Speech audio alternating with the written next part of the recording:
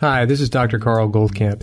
If you're interested in learning about the ketogenic diet like I was to save my own life, then this is probably the podcast for you. Eight years ago, I knew nothing about it. Six years ago, it saved my life.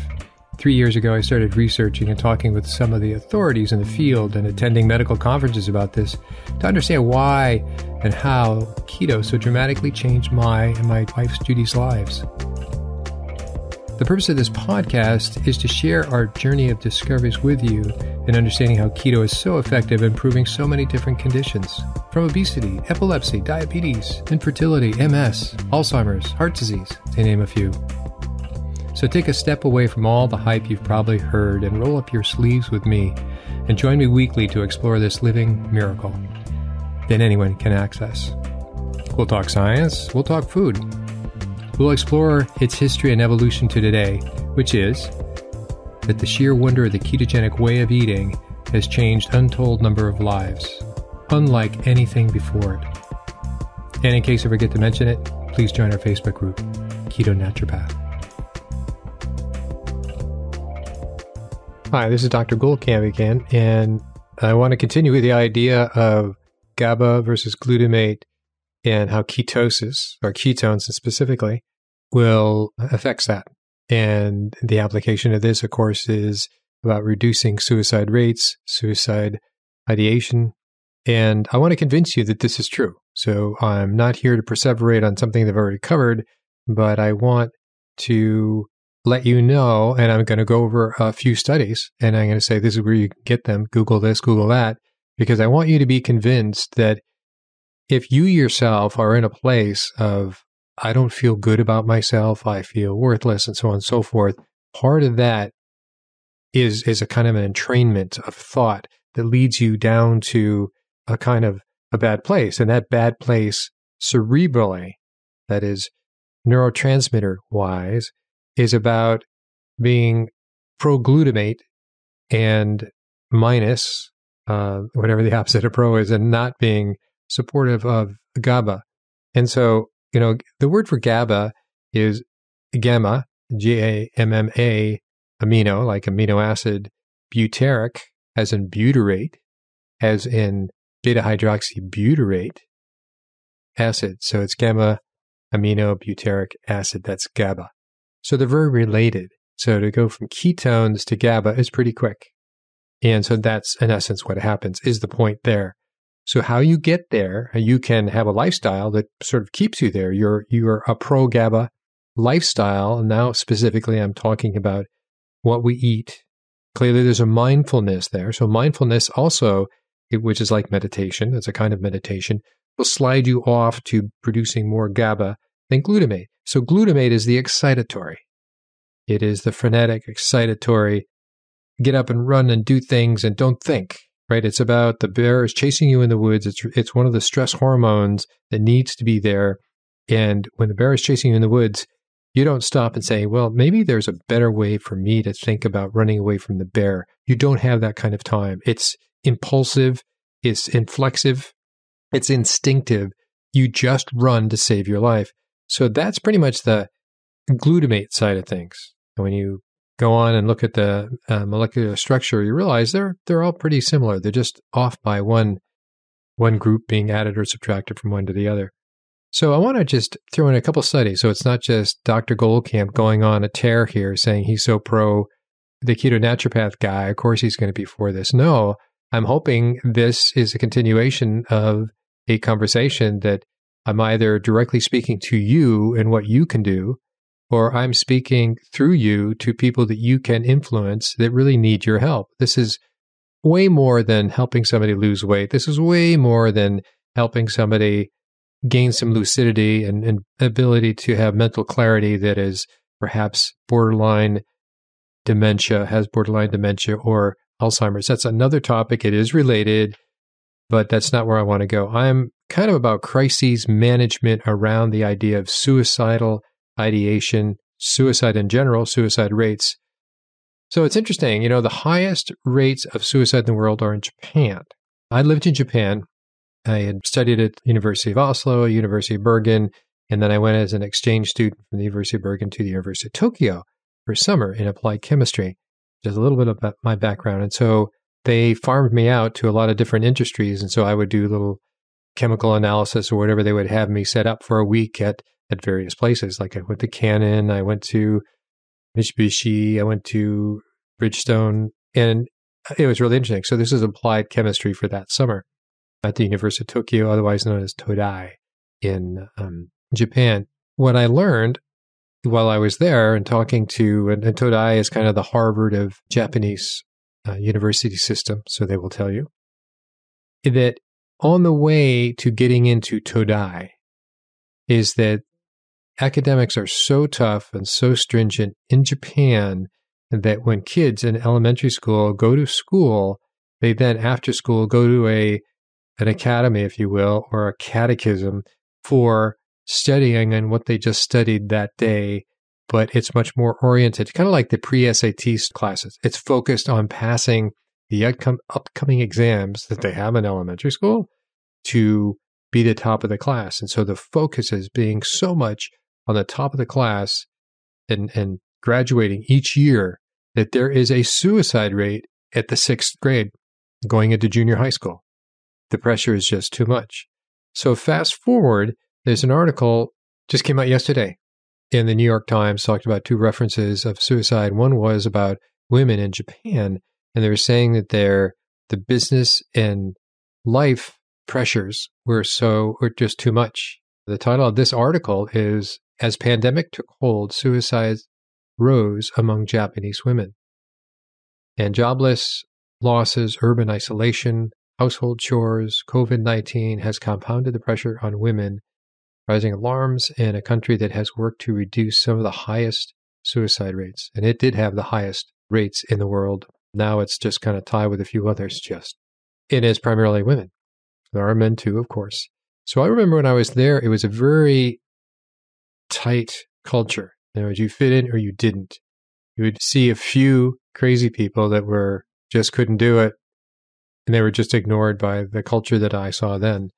But it was, you know, one that way or the highway, so to say, and the conformity was very high. I'm sure it's changed right now. That whole idea of intense pressure existed then for children exists now. Now, here reading about the women. So that's just sort of reference of a reality, yes, brought on by COVID that accentuated situations that have pre existed. But so now I'm going to switch over to ketones and brain power. Okay. I think that would be something to look into. So, in studies of depressed patients, indicate that they are accompanied by inhibitory neurotransmitter GABA, and by such a reduced amount of GABA, and by alterations in blah, blah, blah, the receptors and so on and so forth. So, what I want you to get out of that, and there's a whole study, and I'll link to that. It's in Nature, by the way. It simply say they're GABA deprived. They don't have enough GABA. How they get there? It could be diet, it could be environment, it could be a number of reasons. But the fact that you can bring that seesaw of GABA versus glutamate back into balance is a big deal without having to do medications, per my view. It's something that you can start with as a parent for children, as a parent for yourself.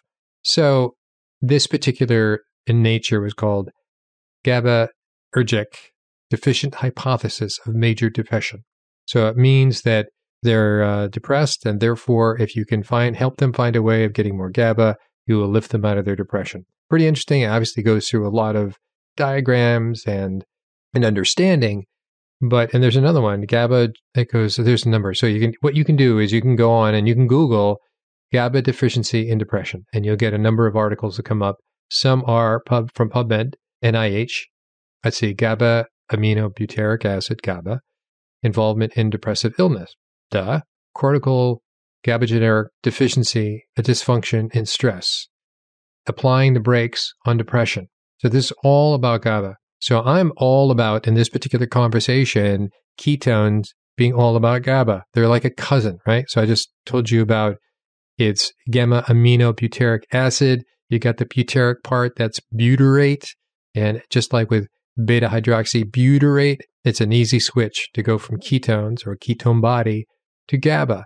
And that will change. So you've come in from the outside You also can mentally do this too, as I told you about meditation and thoughtfulness.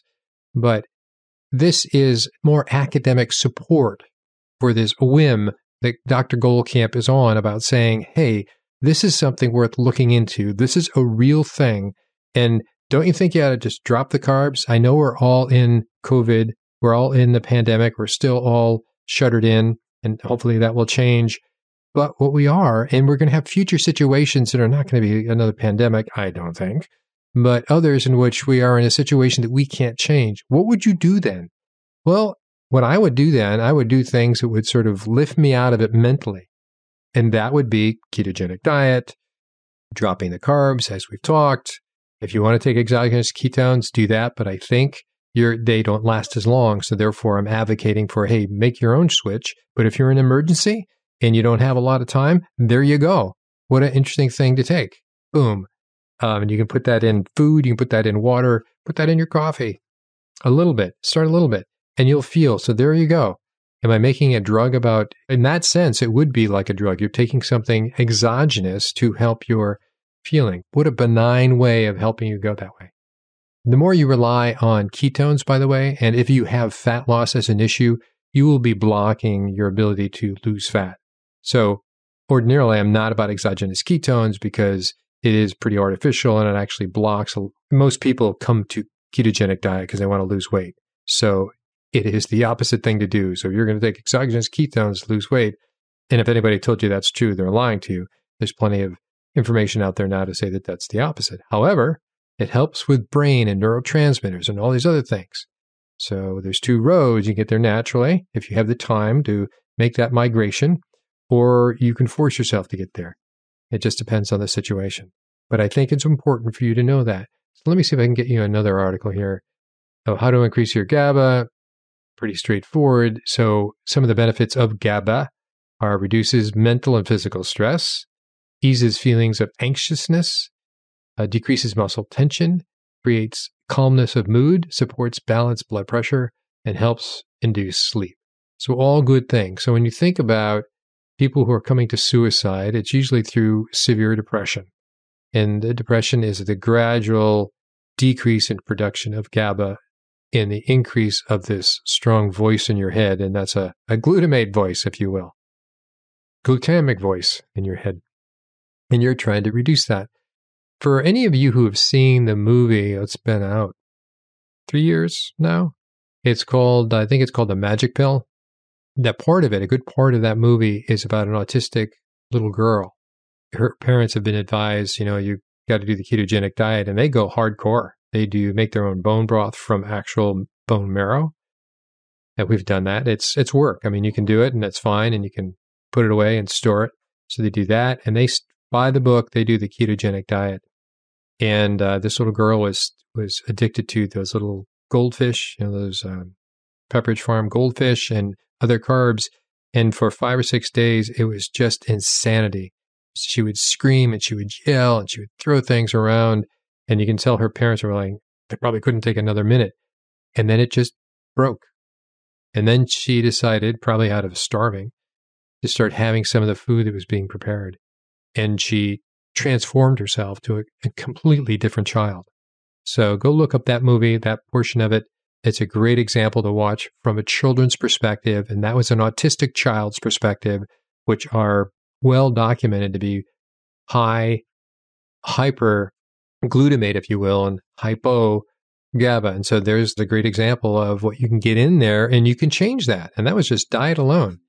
Uh, they didn't even think about doing exogenous ketones. It wasn't they were just going to see what they could do for their daughter ketogenic diet. She wasn't epileptic, she was autistic and ruling their life, ruled the whole house. I think she was like 6 years old. Dramatic change. So that's an example. So whether it's children you're thinking about, whether it's the child and you that you're thinking about, whether it's your siblings, I have four sisters. Some of them can definitely use some more GABA. and others, this is very important. So let me see if I can pop you to another study in case you just think it's Dr. Goldkamp going on about himself. Okay, here's another one that, again, uh, what was the search term? It was uh, keto and GABA. A ketogenic diet improves cognition and has biochemical effects in prefrontal cortex. So, the prefrontal cortex is a big deal. Is that by having more GABA, you do get that reflective capacity and you think about your actions. I told you about the timeout box, right? That's what that is. That's a GABA moment. Go get some GABA and think about what you just did, and we'll call it timeout. If you really wanted to change that, help them, give them a little, give them a little ketones, go have them sit over there and think about what they're doing. Who knows? Maybe it'll be a, a faster transition, but you get the point there. And it's really important. So this is a little more upbeat about something very serious, suicidal ideation of all of us, but primarily I'm thinking about younger people. They've had a real tough year and everything you every time you look into the news, it's conspiracy about something or other, and it's just hard to get a nice, clean day to day existence without contaminating with the news, unfortunately. So this is a way of why we're all hunkered down before we can go back out in the world. We can take the edge off by doing this. And this is supportive for anti-addiction, the connection of the prefrontal cortex specifically. It's it that's what the addiction therapy groups are. You go to a group, you listen to everybody's story because you become more thoughtful. You become more GABA prone to receive that information and then think about changes in your own life. That's a big deal. Mitochondria and mood. Mitochondria dysfunction as a key player in the manifestation of depression. Obviously, the connection between depression and suicide, suicidal ideation is quite large, as well as other mental disorders. So, this is such a strong bridge to walk on, and it's so easy to access it, meaning by dropping the carbs and building on a basic nutritional ketosis plan. It doesn't have to be medical, classic medical ketogenic diet. That's for severe epilepsy. Dropping the carbs, you're going to find that shift in yourself. You're going to find, if you are the person we're talking about through this conversation, that you're going to find when you think back after you've done this for a while, six months or a year, you're going to wonder, gosh, I wonder why I was thinking that way. Other than it, it was COVID and we can justify a lot of bad thoughts during COVID. But you're going to say you don't recognize the issues as being that important to you anymore, even though this is a rather unique time in everybody's life. So, this is a short broadcast, a short podcast today to get this point across.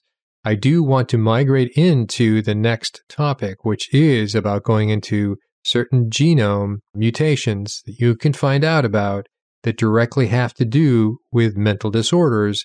And you could say with severe depression, therefore make that same pathway to suicide. I think that's important to know. This should be part of your working vocabulary. This is not esoteric. And do not give up your power to own this knowledge and to have this knowledge as part of a working vocabulary when you're talking to your doctor.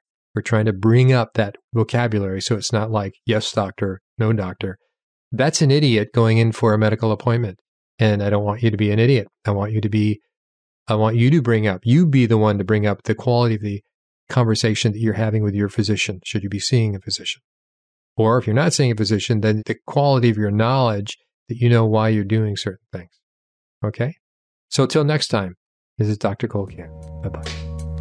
Hi, this is Dr. Goldkamp. I just wanted to encourage you to send in your questions to drgoldkamp at ketonaturopath.com. Many of you have, and so what I've done with these questions that I've gotten back to most of the people I email, but some of the questions that were so good, and if they were overlapping to other questions, I would combine them and try to put that into the topic of a podcast, either via one of the micro topics that are covered in an interview. As you know, we cover a lot of topics in a given interview, or some of my own sort of reporting, if you will, on some of these issues. So please keep the questions coming. Feel free to send in an email and uh, I will get back to you. Stay listening, send in your questions, and I will definitely get back to you.